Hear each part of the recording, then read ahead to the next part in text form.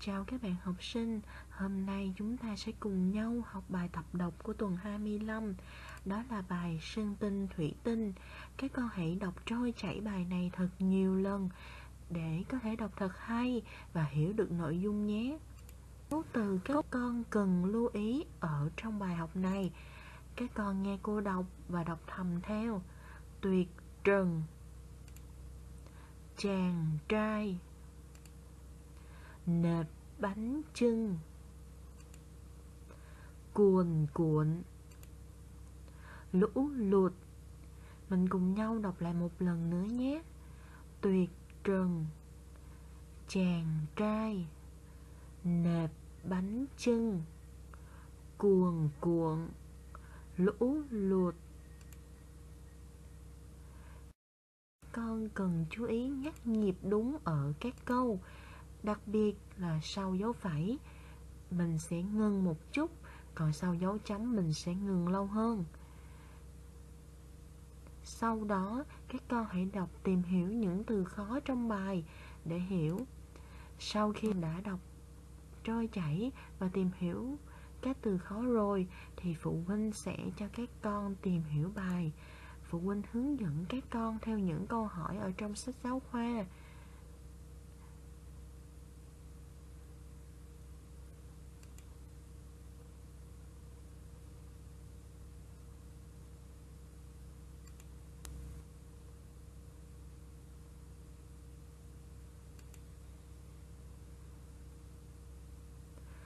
Ngoài hai câu hỏi này, phụ huynh có thể giúp các con hiểu bài hơn thông qua câu hỏi lễ vật gồm có những gì.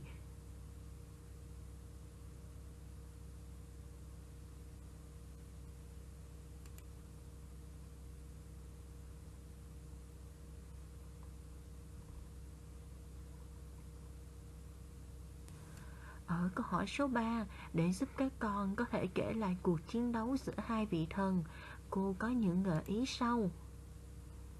Thủy tinh đánh sơn tinh bằng cách gì? Sơn tinh chống lại thủy tinh bằng cách gì? Cuối cùng ai thắng? Người thua đã làm gì?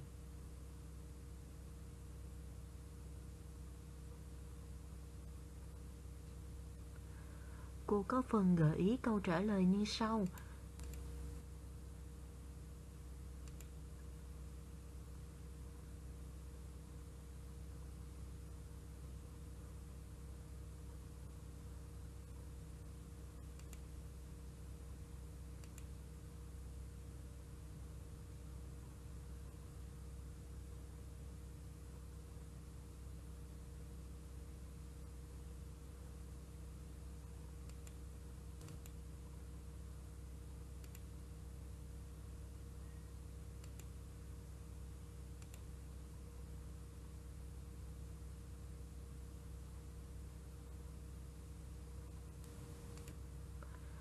Câu hỏi số 4 là một câu hỏi trắc nghiệm Các con đọc và tìm hiểu ý đúng.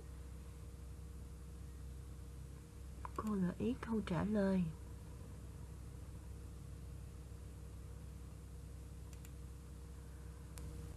Và đây là nội dung của câu chuyện Sơn Tinh Thủy Tinh.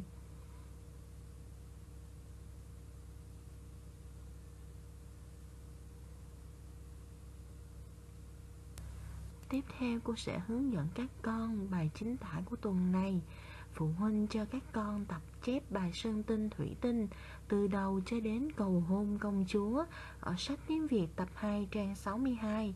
Trước khi tập chép, phụ huynh cho các con tìm và viết các tên riêng có trong bài chính tả. Đó là Hùng Vương, Mị Nương,